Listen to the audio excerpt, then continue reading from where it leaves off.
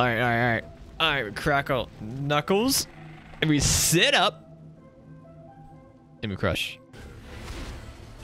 This guy is just Eye Beam in, in the blood, and this guy stands on top of me, and Eye Beams afterwards. What the fuck?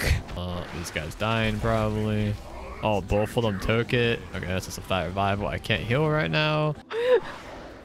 How are they both taking it?